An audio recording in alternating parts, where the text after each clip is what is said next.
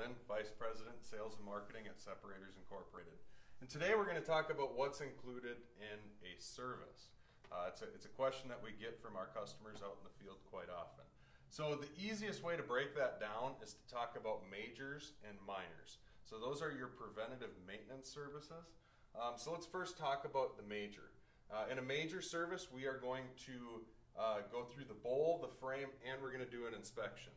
So when it comes to that bowl, we are going to replace the gaskets and seals. We're also going to inspect um, the parts and components for wear, cracks, abnormalities. We're also going to change those uh, if it's needed to keep your centrifuge running optimally and to keep it running safely. When it comes to the frame, we've got a we've got there's a couple different options. So let's talk about gear drive and belt drive machines. When it comes to the gears, we're gonna gear drive machines. We're gonna we're gonna inspect your gears and we're gonna replace those gears if we need to. When it comes to the belt drive, we're typically going to change those belts every single uh, PM major PM service. Um, we're also going to, in that frame portion, we're going to inspect the motor to ensure that it's running well. Um, the last part of that is the inlet and outlet O-rings and seals will also be changed. So let's drop down to the minor preventative maintenance service. Uh, we're not going to do the frame. We're going to be doing the bowl. So in that bowl, we're going to do the same thing that we did in a major. Um, and then we're also going to do the inlet and outlet O-rings and seals that we talked about in the major service.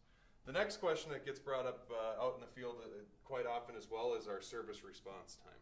And when we talk about the preventative maintenance, the PMs, the majors and the minors, typically those are planned out two months, three months, six months, a year in advance. We even have some customers who are doing it two years out in advance. That's the best way to, to get the best response time for those services. Emergency service. This is where Separators Inc. can really shine. This is what differentiates us from the competition.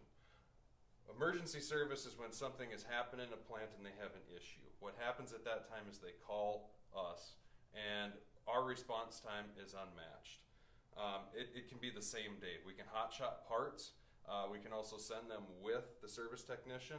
Um, and we can either be there the same day or early the next day. If a flight's involved, sometimes we'll take the quickest flight out and get there at midnight and be in your plant.